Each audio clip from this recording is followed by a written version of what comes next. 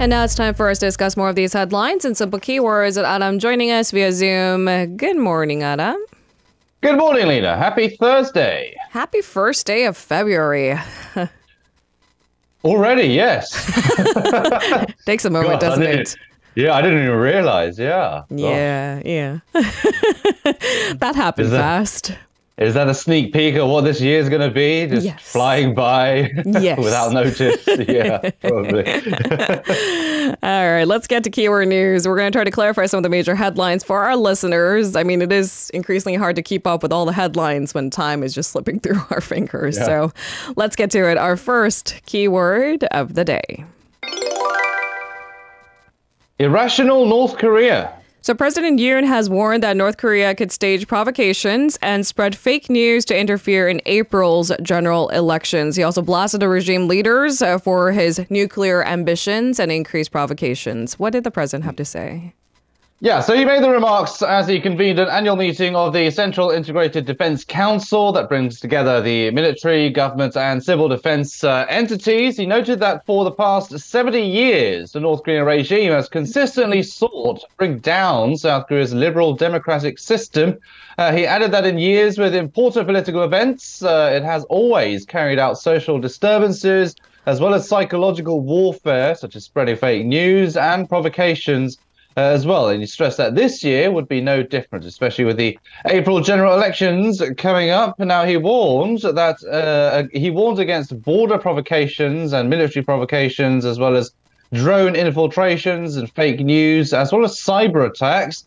And he emphasized the importance of being ready for both physical threats and protecting the country's democratic values. And Yoon also noted that the North Korean regime is an irrational group which has legalized the preemptive use of nuclear weapons to become the only country to do so in the world. And he added that such a move is only recklessly aimed at maintaining the family succession of the totalitarian regime. Uh, now, during the meeting, they also discussed ways to improve emergency alerts, make sure there are enough space, uh, safe places rather, for people to go uh, during attacks and protect important national systems from uh, cyber attacks as well. We've seen precedents of this before uh, by North Korea, and of course, um, it's highly expected as well with the elections coming up. And we're already seeing frequent uh, military provocations as well, with the success, uh, successive cruise missile provocations that we saw uh,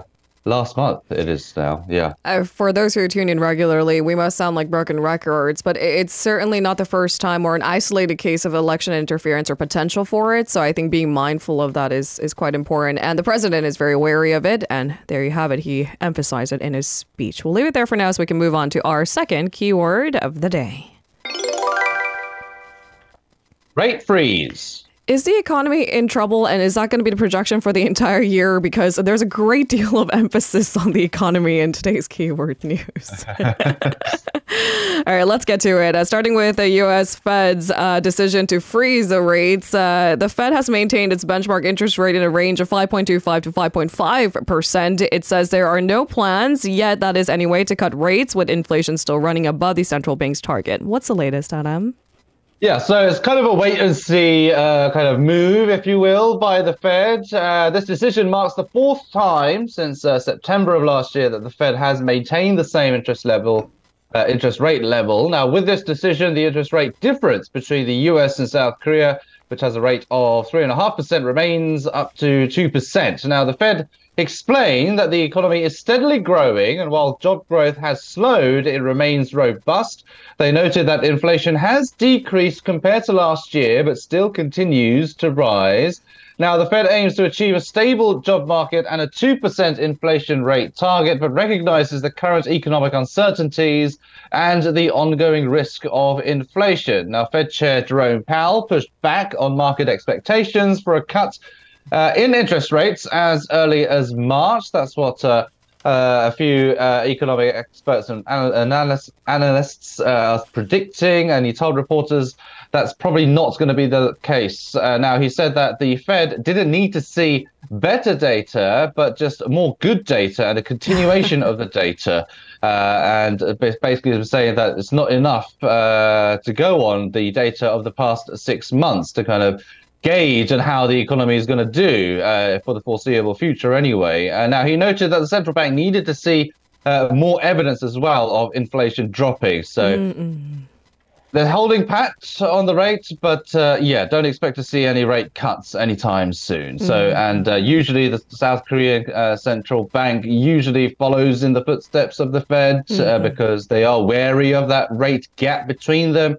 Mm. So it seems likely that um, the South Korean central bank might freeze rates as well, but we'll have to see. All right. So looking for consistency there, right? Consistently good mm-hmm. Data. Okay, let's move on to our third keyword of the day. Senior economic dialogue. I only chuckle because good is such a vague word, but we'll yeah. leave it there for now. Okay. so the Korean government has asked the United States to quickly give tax breaks and subsidies to Korean companies investing in the U.S. A call was made during the annual Senior Economic Dialogue held in Seoul. Can you run us through what was discussed? Sure. So the second Vice Foreign Minister, uh, Kang In-sun, delivered the position to her uh, US counterpart Jose Fernandez. Uh, she highlighted the role of Korean companies in creating jobs and strengthening supply chains in the US. Uh, she urged the US to provide these companies with matching tax credits and subsidies without delay.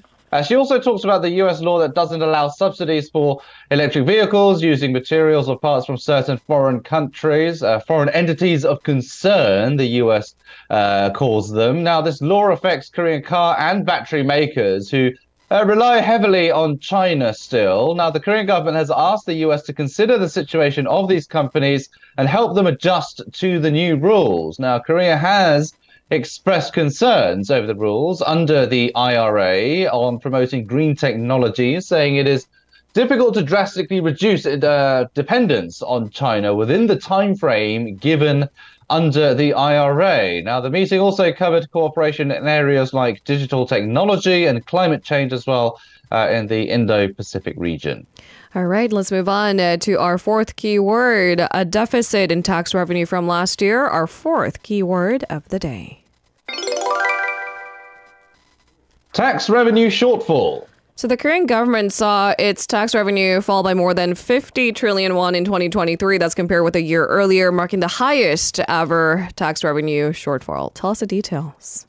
Yeah, so Finance Ministry data shows that the government collected 344.1 trillion won in taxes in 2023. That's down 13 0.1% uh, from a year earlier. Now, compared with the ministry's forecast made in the 2023 budget planning, the country suffered a record 56.4 trillion won of shortfall, the highest ever. Now, the decline in the yearly tax revenue was due mainly to the fall in corporate taxes collected and income taxes, of course, amid an in, uh, economic slowdown. Now, weak corporate earnings in 2022 and the first half of 2023 brought down corporate taxes prepaid to August, leading to a 23.2 trillion won on-year decrease in corporate tax.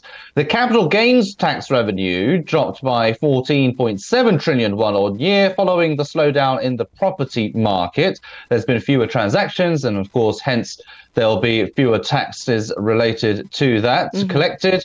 Value added tax or VAT revenue dipped by just under 8 trillion won on year, and customs revenue dropped by 3 trillion won due to a decrease in imports.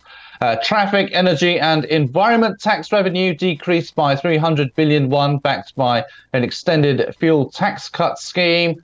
Uh, it is the third straight year for the government's tax revenue evaluation to have missed the mark with a double digit error rate. Mm. Now, meanwhile, the government has projected uh, for there to be 367.4 trillion won in tax revenue in this year's budget plan. That is up 23 trillion won, but of course, we'll have to see on how much the government actually collects uh, by the end of the year. Now, yet the projection for this year's tax revenue remains gloomy as the economy has not fully picked up yet. Uh, there are some projections that it will pick up from this year, but we've been saying that, as I mentioned, last year and probably the year before as well. Sure. Last year was meant to be a kind of a, a year for rebound, but it has spilled over into 2024. Now, though exports have shown signs of a rebound, domestic demand continues to remain lukewarm amid the relatively uh, high interest rates. So yeah, people are just not spending as much as they used to. Um, so mm. a lot a lot of people who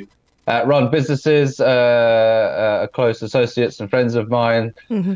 they're struggling uh, basically because yeah, mm. just no consumption is being uh, made at the moment. I mean, things overall cost more from a consumer perspective. If I have the same amount of wands uh, to spend and everything is a little bit more pricey, you you've got to crunch somewhere, I suppose. Yeah, yeah. All right, we'll leave it there for now, so we can move on to our final keyword of the day. Consumption tax discount. So the aim seems to be trying to reduce citizens' financial burden and maybe spruce up people's livelihoods. We'll see. The government is set to propose a new plan that will provide significant tax benefits for people replacing old cars with new ones. Not everyone can benefit from the change. So let's clarify what can we expect? Right, that is uh, only part of the kind of grand scheme right, of right. Uh, tax benefit plans. But uh, yes, owners of cars uh, of over 10 years, so registered before December 31st, 2013, will receive a 70% tax cut on individual consumption tax and other related taxes when they buy a new passenger car, but that excludes diesel cars. Now, also, the annual contribution limit for uh, individual savings accounts or ISAs or ISAs will increase from 20 million won to 40 million won. The tax exemption limit on interest and dividend income will go up from 2 million won to 5 million won uh, for low income earners and those in agriculture and fishing. This limit will increase from 4 million won to 10 million won. Uh, now, the government also plans to cancel the financial investment income tax that's scheduled to start next year. Now, this is tax on basically on earnings from investments like stocks and bonds. Uh, also, purchasing unsold homes in non capital regions after construction will not be counted in the total number of homes owned when calculating capital gains tax and comprehensive real estate tax. Hmm. Uh, if credit card usage in the first half of the year increases by more than 5% compared to the same period last year, the additional amount will receive a 20% income tax deduction. These measures are basically follow ups to the economic policies announced earlier this year uh, and will be proposed as legislative bills. So there's a lot, uh, a long list basically of tax benefits uh, that the government has planned, mm-hmm. but uh, we'll have to see uh, which one of those comes into fruition, uh, because of course there are legislative hurdles to mm. overcome in Parliament, especially. But uh, that's what the government is proposing. Um, but of course, uh, don't get your hopes up that all of these tax benefits will certainly be made. But um, yeah, in terms of the individual consumption tax on these cars, a lot of uh, that has been going on for quite a while. Mm-hmm. In fact, so if you purchase a new car, you will get that, probably that tax benefit. But for the others, we'll have to see. I was going to say, if I was inclined to, I don't know, spend more and rely on retail therapy and spend more than last year, I should wait and see. yeah, so if you do want to go all out and uh, spend big, hold on just a little bit and see how, how uh, things play out in terms of the tax front anyway. Honestly, you can spend as much as you want, listeners. It's just that if you're relying on the tax break, we're saying it's not final just yet right. Yeah. Thanks, Adam. We'll see you tomorrow. You're very welcome. I'll see you tomorrow.